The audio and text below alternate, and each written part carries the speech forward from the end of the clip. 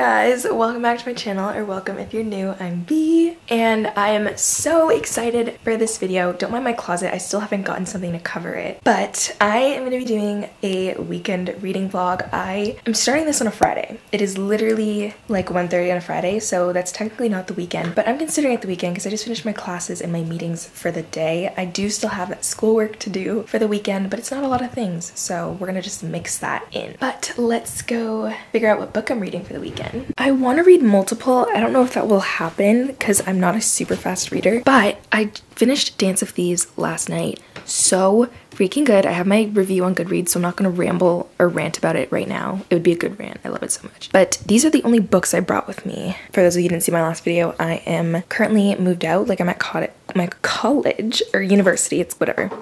And these are the only books I brought with me, but I want to read this so bad.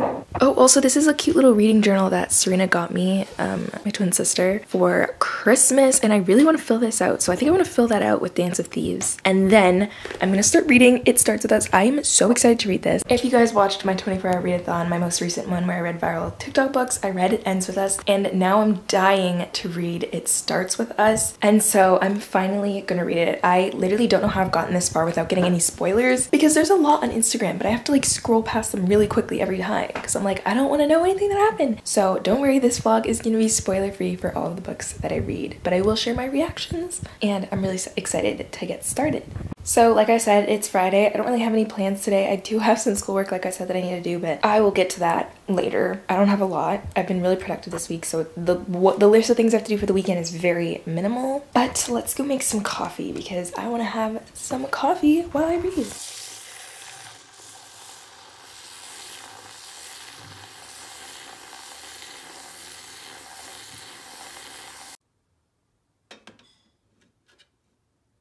Okay, I've been using these ones a lot. In fact, I finished the other box, but I think today we're gonna use this one.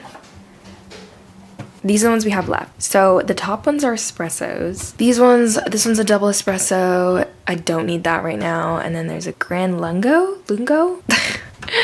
Okay, it's a little less than a coffee coffee, and then we have all of these coffees. I like really want to try this one, but I feel like I should save it, you know? Oh, this one sounds so good. It's from Ethiopia. I think we're gonna go with Colombia. Yeah. Okay.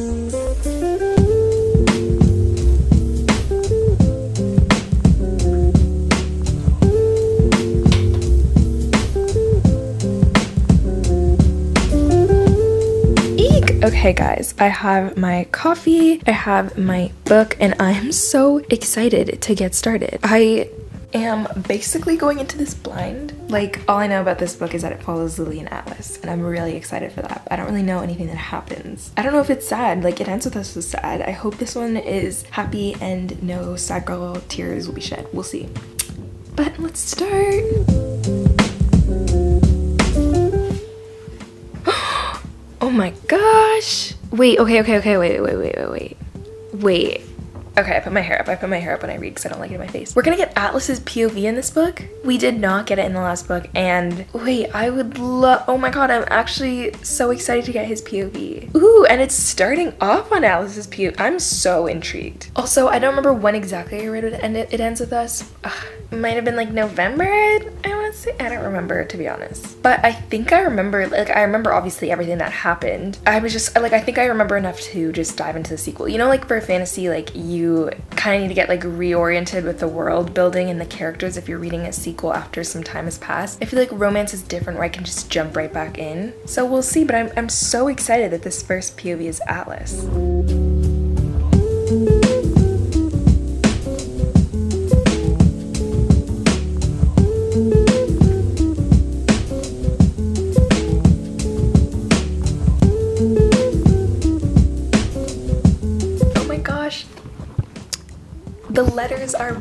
In this. In the first book, there were like letters in it. It's kind of like a way of like bringing the past POV into the book. But now she's writing letters in the present and it's like a nice little touch. I love it. Okay, it's like 3.20 and I'm like 20 pages in. Like I said, I'm not a fast reader and also I got really distracted on my phone. But this book is really, really good so far. What I like about Colleen Hoover's writing is that it feels like breathing. Like it's so easy to read and like fly through. She says as she's 20 pages in. But I think I'm gonna hang out with my friend now, so I need to figure out what to wear. But let's also get a bookmark for this because I was about to dog ear my page, but I can't do that. So let's go do that. Oh, also the coffee is so good. I'm almost done it. I didn't really finish it, but I really like the pod that this was. The Colombia one or the Ethiopia or whatever it was. So good. So let's find a bookmark. Oh my gosh, is this making anyone like stressed because my bed is white? Don't worry. I'm like so used to walking on a thin line with everything that I put on my bed. Um, yeah, here are the bookmarks that I brought. And then I think I have one on my desk, but I think I'm gonna use this one. I got this one from like a thrift bookstore with my friend where like you get a free bookmark with like every purchase or whatever. But I like it because it's white, so it like goes with everything. Okay, this is the outfit I decided on. Not too sure how I feel about it. And I'm also gonna bring my slippers in my tote bag because I'm a slippers galley and I don't know if anyone else does that, but sometimes I bring slippers to my friend's house. I don't know. but they're just so like cozy. But anyway, I don't know how I feel necessarily about this outfit. I mean, first of all, these need to, need to be washed. Like there's like a stain on the back or something. And this feels a little too dressy, even though it's literally just like a casual, like it's, I consider it casual, but, but I don't know. I think this is the move. So I'm going to bus to my friend's house.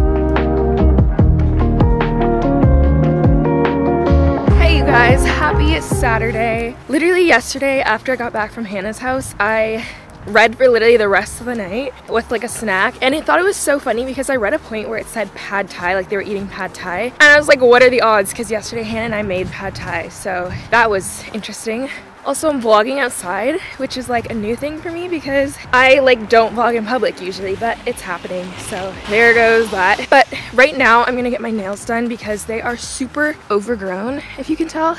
Like they're so overgrown. So I'm gonna get my nails done and then there's like a bookstore near the nail place that I'm going to. So I might go to the bookstore and buy books. Or no, I might go to the bookstore and look at books, but I can't buy books because I'm on a book buying ban. Literally can't afford to and I have so many books that I brought with me that I haven't read yet. So but we are gonna go book shopping.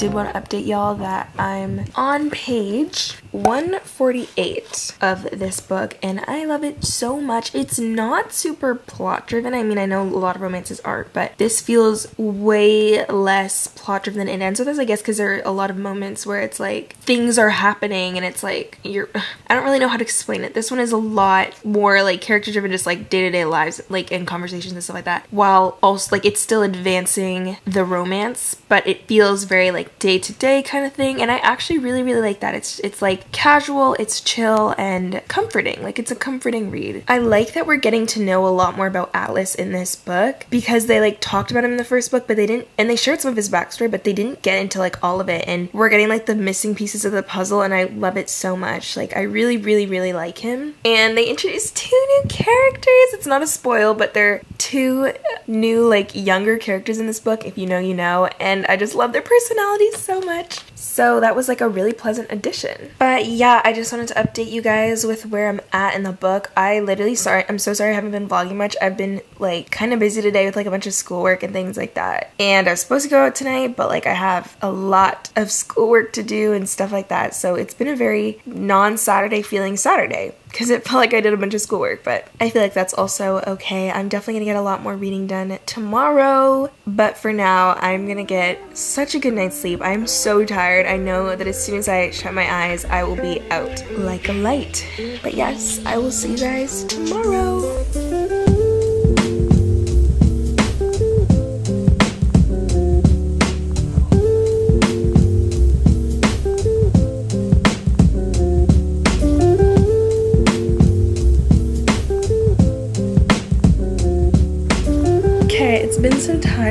For a while. I'm now on page 175 and I think I'm gonna order food because I'm hungry and I'm so lazy. I don't want to make anything and I don't really have much to make but I'm loving the book and I'm gonna eat.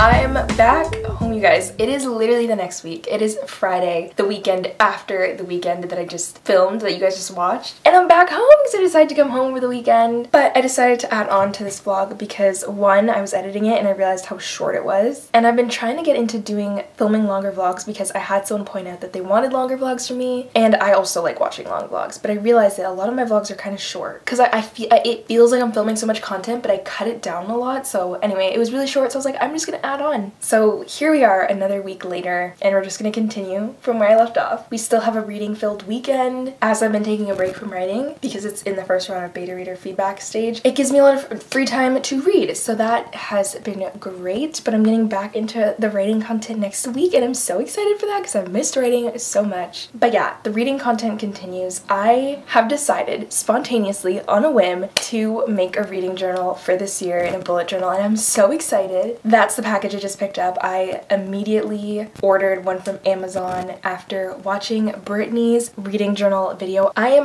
literally obsessed with Alyssa and Brittany's channels. You guys have been asking for me to like recommend like author tubers and booktubers. Their channels are so amazing. I would say their content is very similar to mine in their like vlog style and the way they film. So if you're a fan of my channel, I think you'll love theirs. But they also have a lot of book content, which is great for inspiring me to read. So I love their content. And they're also bullet journal galleys. I don't want to like label them as bullet journal but like bullet journaling is something that they do and they have really aesthetic spreads. And I watch them and I'm like oh my god that looks so pretty. But I've never been a bullet journal person because personally I don't think it's something that I would be able to keep up with throughout the year if I made one for like in replacement of a planner. So I just prefer a planner. But I saw Brittany's recent video where she showed her reading journal and I was obsessed. I was immediately like, I need this. I need one. I know that I would absolutely love to use one throughout the year. I think it'll add like a fun little documentative aspect to my reading, which I like. I have Goodreads, which I will always use. I put my reviews and stuff on there, but this feels like so nice to have like different spreads for books that I'm reading throughout the year. And I was obsessed with her pages and stuff, so I immediately was like, I need to make one, and then I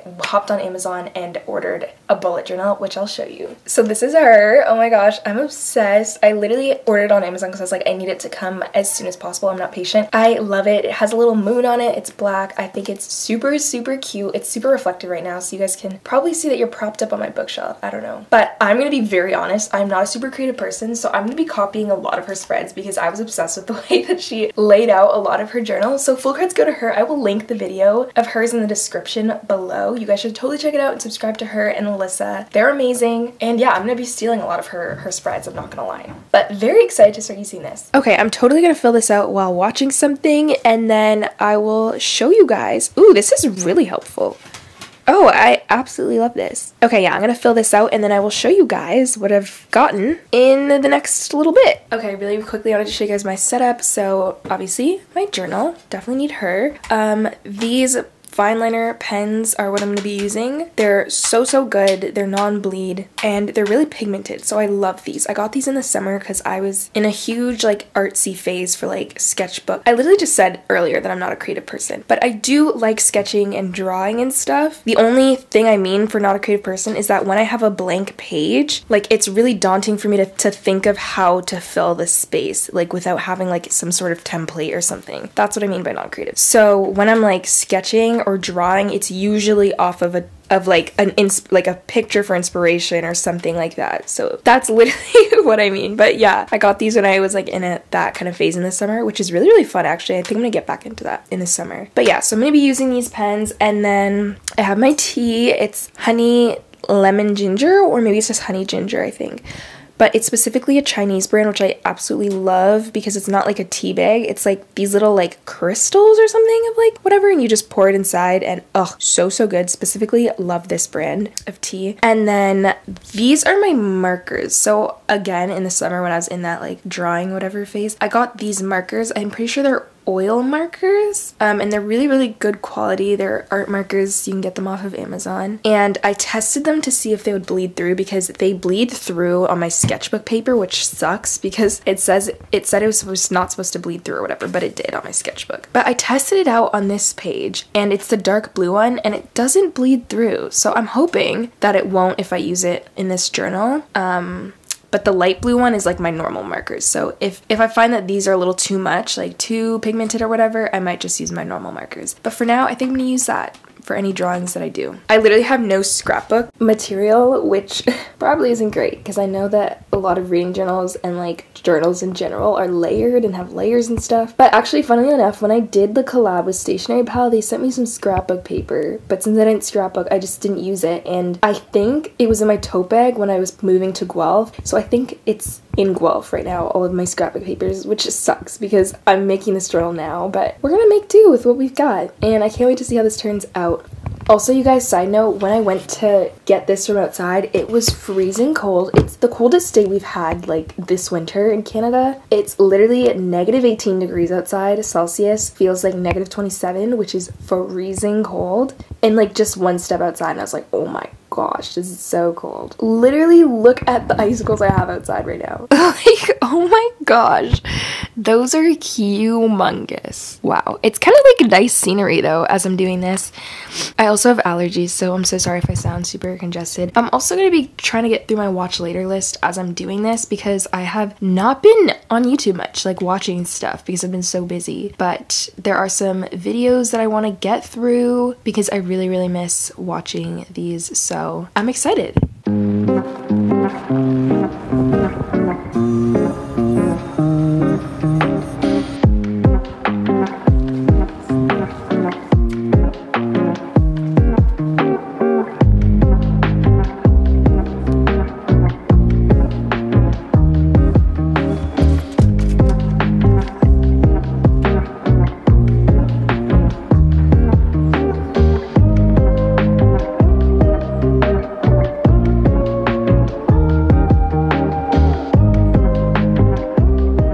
Guys, I'm back home. I know so many location changes, so it's probably super confusing. But I wanted to show you what I did so far. Literally, everything that I did in this took me so long, so I am nowhere close to done. Like I literally just did like four pages because everything took longer than I thought it would take and I was like watching stuff. But I love the cover, but I also kind of want to have this on the cover and like glue this in the corner there and then kind of have the numbers 2023 like this. I'm missing a two. Pretend I'm not missing a two. And then like reading journal and have that be my cover. But at the same time, I would need like really strong glue for that to work. So I don't know yet what I'm gonna do. If not, then this will be my like title page. But yeah, that's just what I'm thinking. I don't have glue yet, so I couldn't do a lot again in this journal yet, but I'll show you what I have so far. So here's my index page. I'm gonna be honest, I screwed up so many times in this journal, um, and I will show you the numerous times. I'm not surprised, honestly. I think I'd be more surprised if I didn't. So I wrote reading goals on page four, first of all, when there are no reading goals on page four. It's actually on page seven. That's just one of the mess, like the screw ups that I did. I need to get white out because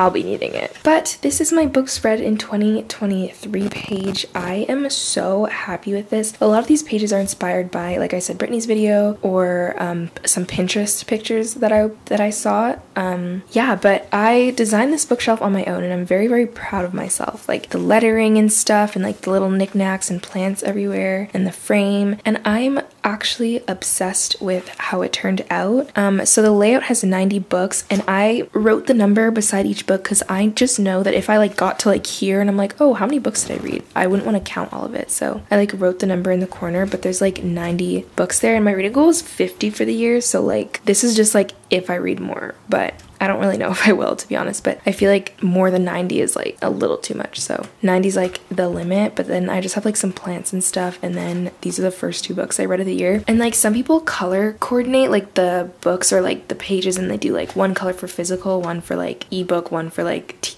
um, audio or something. But I decided I'm just gonna do the color of the book, like the closest color I can match with it. So dance with these I still have to do. I brought my markers with me.